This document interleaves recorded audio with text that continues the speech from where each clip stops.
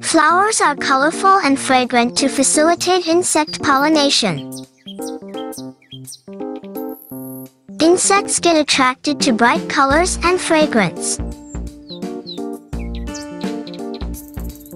When they reach the flower, pollens stick to their body and hence get pollinated.